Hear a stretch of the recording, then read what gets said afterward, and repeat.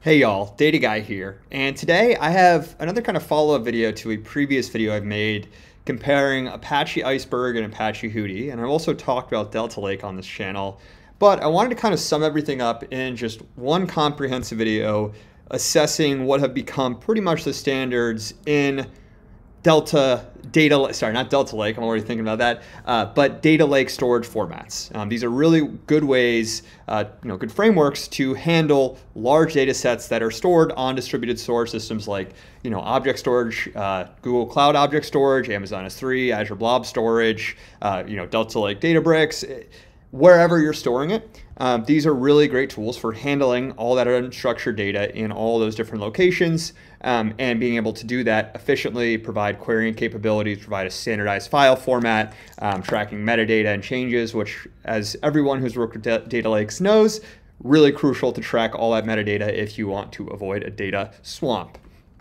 So what I'm going to talk about here is just go through three these three different services, talk about, hey, how do each of them work?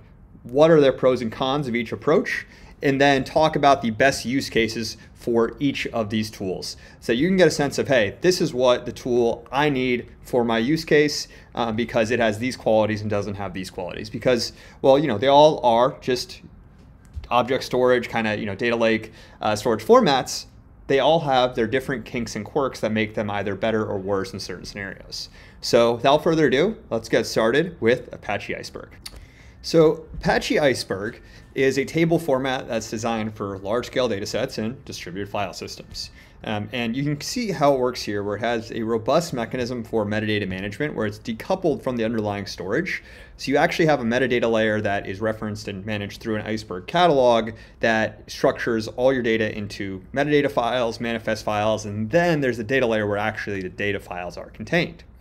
And so the metadata files capture all the essential details around schema evolution, partitioning, the details of the underlying files, um, and then the manifest files list those different data files, the actual metadata of those different data objects, but the actual data is still stored in the data files. You have an abstraction of the data through the manifest files, and then that abstraction is organized through the metadata files.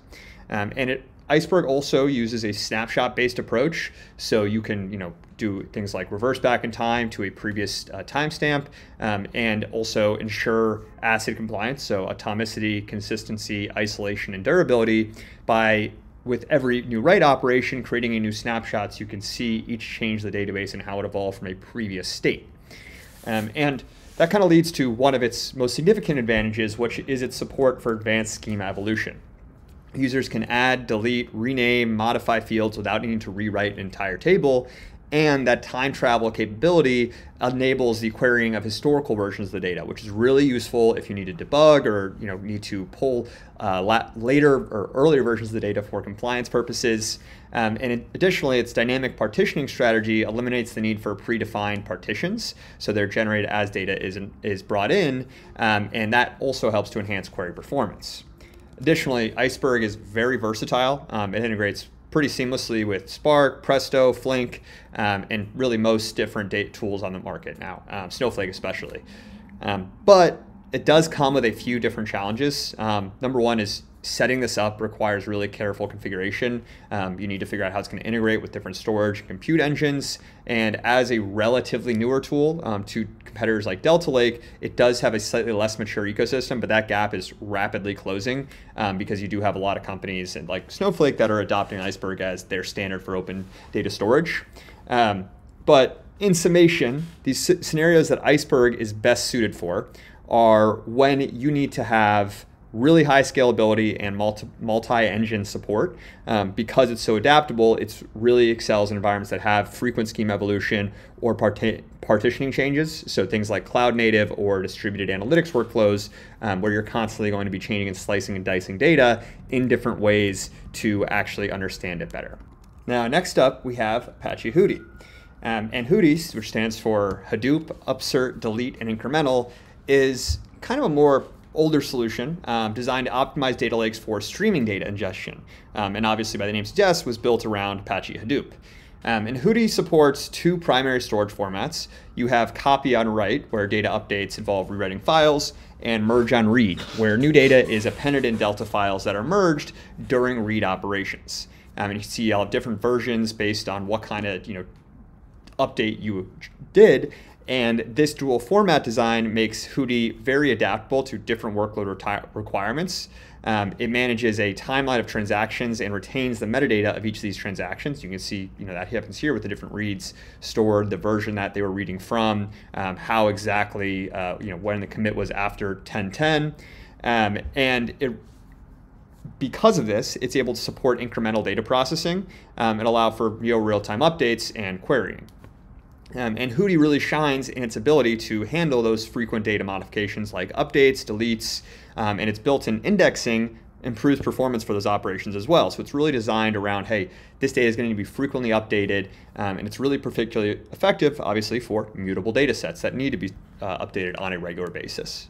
Um, additionally, Hudi has a really strong integration with Spark um, and Hive, but mainly Spark is, is what you're probably going to be using in today's day and age. Um, but it makes it a really natural choice for operating within the Hadoop ecosystem as well um, if you're using still using Hadoop. Um, and then the merge on read format unfortunately, can introduce some complexity. Um, so with great power comes great responsibility. It does require really careful tuning to balance write and read performance, um, you know, because you're just constantly appending data to a new file. Um, and the copy on write approach, which is might be similar, simpler, can also lead to a heavy write overhead for large updates. Um, so there are some trade-offs with this kind of high adaptability. You are going to introduce additional complexity and just additional compute overhead. Um, and Hudi is not nearly as supportive of multi-engine environments um, and isn't really as well integrated with most cloud services um, because it's been primarily focused on Spark and Hive. Um, and Hudi, I would say, is most effective in use cases that are things like streaming data ingestion and real-time dashboards. Um, you know, it's really well suited for those applications because they require frequent incremental updates, um, or they might operate in Hadoop-centric environments, leveraging Spark or Hive. If you're using Hadoop, probably want to be using Apache Hudi as your data storage format. Now, finally, we have the Delta Lake format. Um, and Delta Lake works a little bit differently in that it's a transactional storage layer built on top of data lakes. Um, and it ensures ACID compliance by maintaining a transaction log known as Delta log, um, which you can see here, uh, which tracks all changes to a Delta table. Delta Lake uses Parquet as its underlying storage format and enforces schema on write. So when you ingest data, it needs to be in the proper schemas to prevent bad data ingestion. And one of Delta Lake's most notable features is that it has the ability to unify batch and streaming data processing, allowing users to switch between or combine these modes. Um, and it also rely, strengths rely in its mature ecosystem. Uh, Databricks has really put a ton of effort into developing uh, Delta and so it has a lot of features and functionality kind of built into it, uh, especially if you're already using Databricks.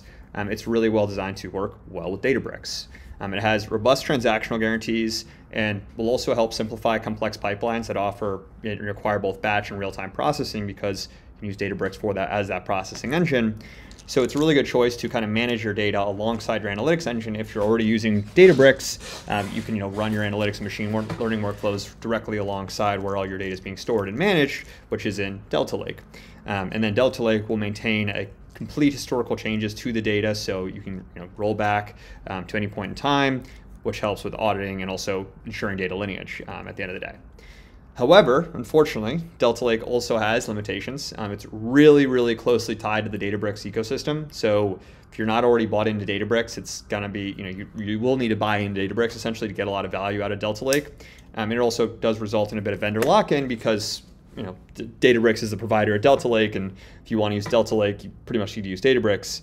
Um, so while it does integrate well with Apache Spark, its support for other compute engines is pretty limited. Um, and then also schema evolution in Delta Lake is much less flexible um, compared to Iceberg. Um, it's a lot stricter in terms of read on write and requires explicit handling where you need to you know, restructure the schema yourself for certain changes. Um, but Delta Lake is really ideal for workloads that demand high consistency and transactional guarantees. Um, it's really effective for pipelines that you know are combining batch and streaming data, and you need to be able to quickly see, okay, you know what I need to go find this table, make this really small update without pulling all the data um, from that table. And organizations that are already using a ton of the Databricks ecosystem are going to find Delta Lake to be a pretty natural and powerful extension of their existing infrastructure. Um, and that is really all I had for you today. I just wanted to kind of make a summation video of these three tools, go over their distinct advantages, disadvantages, um, and just help you get a sense for, based on your current architecture needs, which one might be best for your organization. I hope you have enjoyed this video. I hope you have a great rest of your day. Data Guy out.